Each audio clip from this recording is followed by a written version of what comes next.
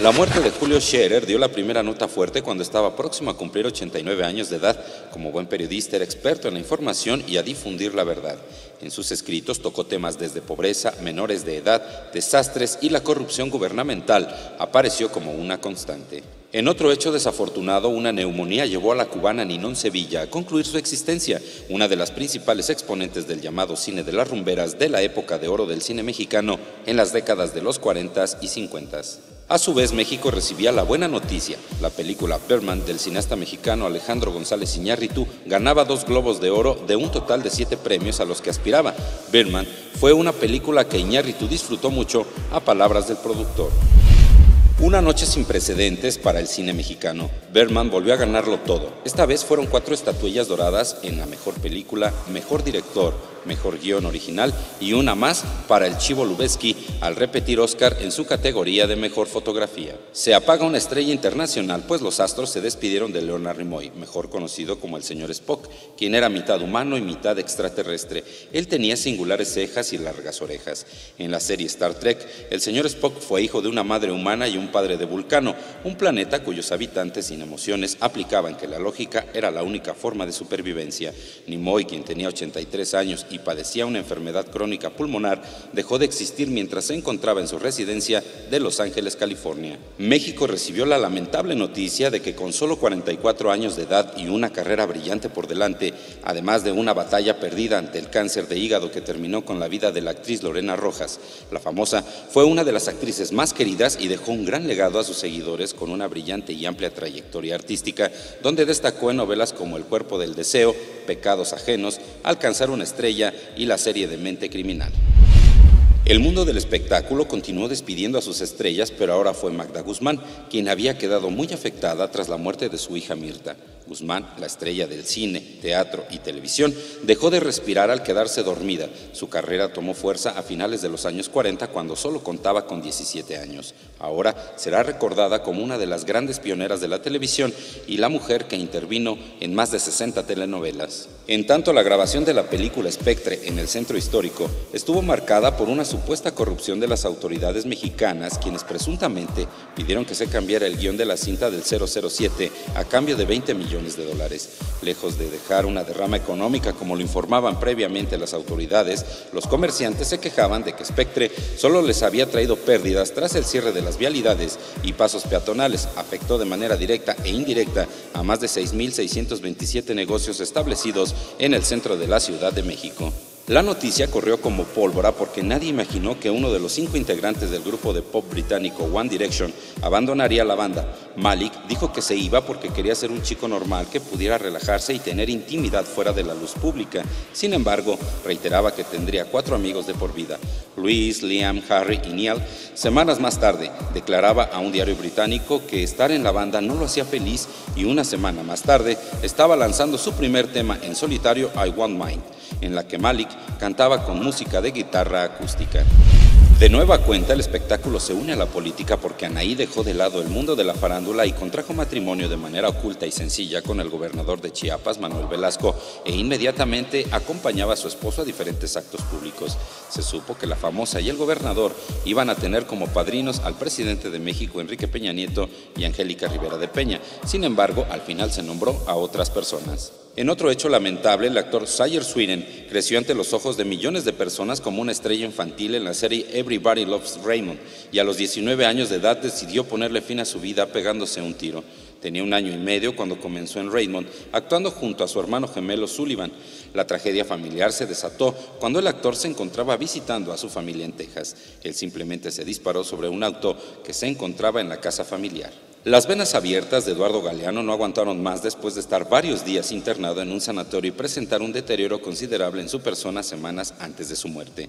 Galeano, escritor y ensayista de 74 años de edad, murió por las complicaciones que le produjo un cáncer de pulmón. Estados Unidos despidió a uno de los cantantes y guitarristas más emblemáticos, B.B. King, el rey del blues, una de las figuras más destacadas en la música del siglo XX, y uno de los guitarristas más influyentes murió a los 89 años en Las Vegas.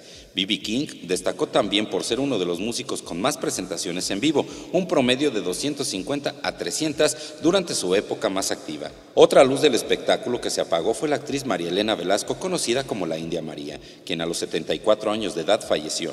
Ella hizo decenas de películas. Su último filme fue en el año de 2014. La India María, personaje pobre, simpático, sin educación, sin buen manejo del español y con un aspecto indígena, eso sí, sin la malicia, pero con el ingenio para salir bien librada de todos los abusos de poder. El cine mexicano sigue dejando un buen sabor de boca porque se estrenó la película El Gran Pequeño, producida por Eduardo Verástegui y dirigida por Alejandro Gómez Monteverde. El filme tuvo una gran recepción por parte de los espectadores y se mantuvo en cartelera por varias semanas en los primeros lugares. La cinta se estrenó en este y otros territorios del Centro y Sudamérica, así como en España. En plena veda electoral y durante las elecciones, algunas personalidades de la farándula e incluso deportistas dieron la nota por apoyar en redes sociales al Partido Verde, quien meses más tarde fue sancionado por el Instituto Nacional Electoral. Una noticia que causó sensación fue a través de la periodista de espectáculos de una de las televisoras más importantes de América Latina, Mara Patricia Castañeda y Vicente Fernández Jr., quienes pusieron fin a su matrimonio en medio de un escándalo de espionaje. Nuestro país perdió a uno de los líderes de opinión más célebres al fallecer Jacobo Zabludovsky, ícono del periodismo en México, reconocido por su trabajo a nivel nacional e internacional, con casi 70 años de trayectoria, logrando entrevistar a las máximas figuras de todas las artes, el deporte, la política y los espectáculos. Excelente cronista que marcó una época en la televisión nacional por más de tres décadas. Después de una larga batalla contra el cáncer, finalmente el cantautor Joan Sebastián falleció en su rancho. Su último adiós se prolongó durante una semana, pues fue despedido en Cuernavaca, la Ciudad de México y Juliantla, artistas de todos los géneros lamentaron su muerte y se realizaron múltiples homenajes en su memoria. Los artistas latinos se unen y alzan la voz contra el magnate Donald Trump, pues el empresario norteamericano realiza declaraciones en contra de los migrantes, principalmente de los que provienen de México. Dichos artistas aprovechan todos los espacios en los medios de comunicación para mostrar sus inconformidades racistas del también político estadounidense. En la Ciudad de México resultó todo un éxito la exposición del personaje italiano Leonardo da Vinci y la idea de la belleza, una exposición presentada en el Museo del Palacio de Bellas Artes, quien por cierto fue vista por casi 300.000 personas quienes pudieron comprobar el talento e intelecto de uno de los más grandes artistas y genios del siglo XVI. Mario Kreuzberger, mejor conocido como Don Francisco, protagonizó una de las despedidas más emotivas de la pantalla chica, pues este año llegó a su fin Sábado Gigante, la emisión de entretenimiento más antigua de la televisión mundial, luego de 53 años de permanecer al aire. También en este mes se presentó una de las exposiciones más memorables de nuestro país, Miguel Ángel Bunarotti, un artista entre dos mundos, la cual provocó modificaciones de horarios para visitarla ante la demanda de los mexicanos, quienes esperaban largas filas para entrar al Museo del Palacio de Bellas Artes. Wendy Esparza, ganadora de Nuestra Belleza México, ya le había dicho adiós a la corona de Miss Universo ante la decisión de nuestro país de no participar en el certamen debido a los comentarios racistas de Donald Trump. Sin embargo, las piezas se movieron y México regresó a la jugada ignorando al magnate norteamericano.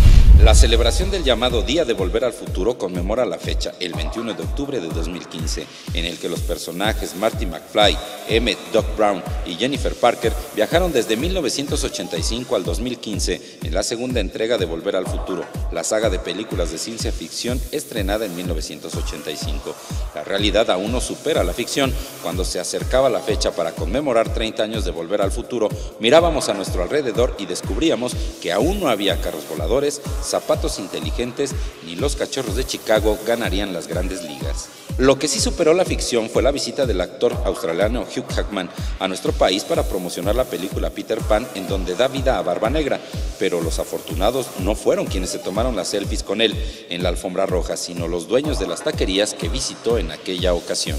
Otra cosa que parecía ficción era el anuncio de Playboy de no mostrar a mujeres desnudas en sus páginas. Aunque esto sí sería una realidad en 2016, ahora la estrategia será presentar fotos de mujeres en poses provocativas, pero con más ropa. Toda una fiesta causaron las estrellas de la nueva cinta de James Bond, quienes estarían en nuestro país para presentar la cinta número 24 de la Agente 007. Este sería uno de los acontecimientos más relevantes, junto a la boda de ensueño de Sofía Vergara y Joe Manganiello. El Auditorio Nacional se convirtió en un set cinematográfico con esculturas monumentales y detalles alusivos al Día de Muertos, uno de los temas que se aprecian en la historia número 24 del agente 007. Sin embargo, una ola de rumores empañaron la felicidad que se sentía en el mundo del espectáculo. Un actor de Hollywood sería portador del VIH. Varios fueron los nombres que circularon hasta que finalmente Charlie Sheen enfrentó a la opinión pública y reveló su enfermedad. Además, Luis Miguel dejó de brillar en México luego de cancelar sus presentaciones en el Auditorio Nacional, pero tampoco alcanzó el éxito en Argentina, país en donde continuó su gira. Esta no es la primera vez que El Sol cancela un concierto. En febrero pasado no llegó al Coliseo de Yucatán. Los motivos fueron inciertos, aunque destacó la declaración del promotor del show, quien aseguró que el cantante estaba ebrio en las instalaciones del hotel en el que se hospedaba. Casi para terminar este año 2015, Chabelo presentó su último programa después de 48 años al aire, inundando de tristeza a las generaciones que crecieron con él. Pero no todo es desconsuelo, al fin llegó a la taquilla mexicana el séptimo filme de la saga Star Wars, la cual ha sido un fenómeno mundial a tal grado de que algunos analistas prevén que se convertirá en una de las cintas más taquilleras de la historia.